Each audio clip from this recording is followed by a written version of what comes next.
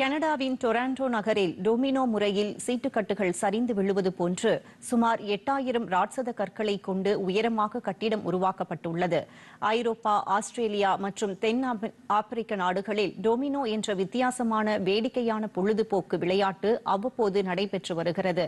இவ்வாறு வரிசையாக அடுக்கி வைக்கப்படும் சீட்டுக்கட்டுகளில் ஒரு சீட்டை தட்டிவிட்டால் முழு கட்டமைப்பும் அடுத்தடுத்து மிக அழகாக கீழே சரிந்து விழும். அந்த வகையில் டொமினோ முறையில் கனடா நாட்டின் முக்கிய நகரங்களில் ஒன்றான டொராண்டோ நகரில் ராட்சத கற்கள் மூலம் உயரமான கட்டிடம் உருவாக்கப்பட்டது. சுமார் இரண்டரை கிலோமீட்டர் தூரம் வரை தெருக்களிலும் பூங்காக்களிலும் இந்த ராட்சத கற்கள் வரிசையாக அடுக்கி வைக்கும் பணியில் சுமார் இருநூறு தன்னார்வலர்கள் ஈடுபட்டனர்.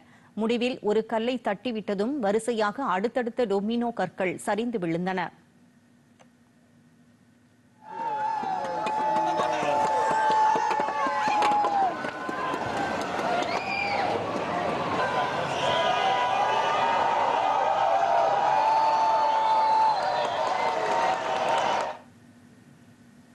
டொமினோ முறையில் உருவாக்கப்பட்ட இந்த உயரமான கட்டிடத்தின் முதல் கல்லை தட்டிவிட்டால் ஒட்டுமொத்த கட்டிடமும் சரிந்து விழும்.